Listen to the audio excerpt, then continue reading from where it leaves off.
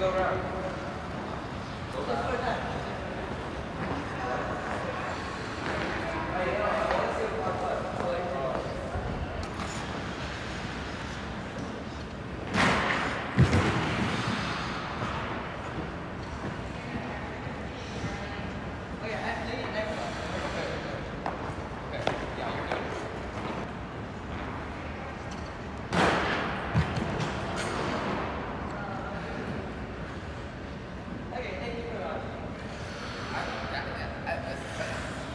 Oh, you rotated like any before? No.